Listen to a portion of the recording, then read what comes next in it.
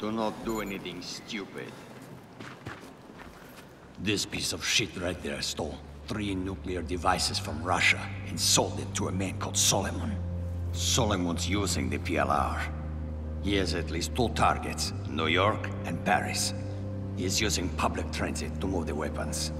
He's going to detonate the New York device at Times Square very soon. This cannot happen. We can avert war between our nations. Just two of us. No politicians. No money changing hands. Just two soldiers speaking the truth. Help me. Help me to do this. That's it. I have to leave now. You don't shoot him. Millions will die.